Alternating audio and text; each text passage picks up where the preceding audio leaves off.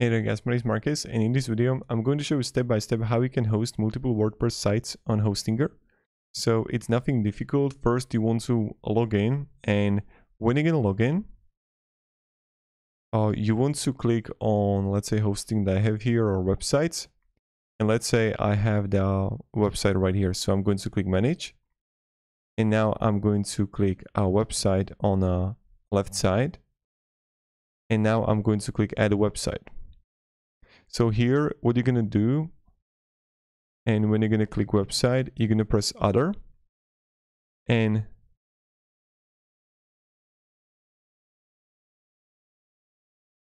you want to skip I want personalized experience. And what you want to do is that again skip create an empty website. And now I can choose a domain or I can use an existing domain. So you have to like you have to choose between these two. Now, when I'm going to click use existing domain, so I'm going to, let's say right here,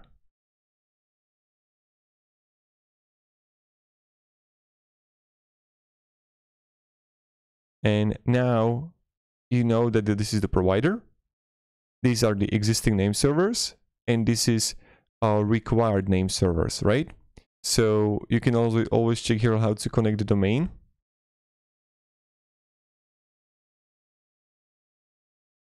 And now um like you're going to choose the like provider if it's um like a namecheap or something a godaddy name.com you're just going to choose it right here. And here you're going to have the how to point domain so you can use it if you're using